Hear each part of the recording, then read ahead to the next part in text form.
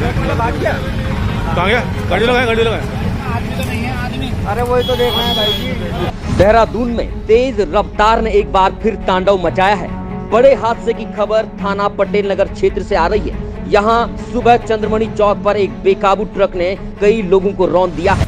हादसे में एक युवक की मौके पर ही मौत हो गई है, जबकि कई लोग इसमें घायल हो गए हैं। सूचना पर पुलिस पहुँची और पुलिस ने सबसे पहले रेस्क्यू अभियान चलाया और उसके बाद घायलों को अस्पताल में भर्ती कराया।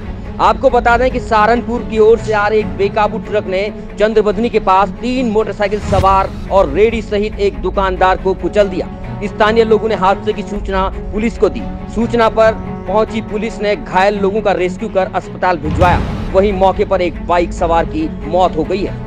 बताया जा रहा है कि पुलिस मामले की जाँच में जुट गई है प्रथम दृष्टि में माना जा रहा है कि ट्रक के ब्रेक फेल हुए हैं, क्योंकि ट्रक चालक काफ़ी दूर से ही हॉर्न देता हुआ आ रहा था। पुलिस की कार्रवाई लगातार जारी है। वहीं मृतक का शव कब्जे में ले लिया गया है और घायल की हालत भी नाजुक बताई जा रही है।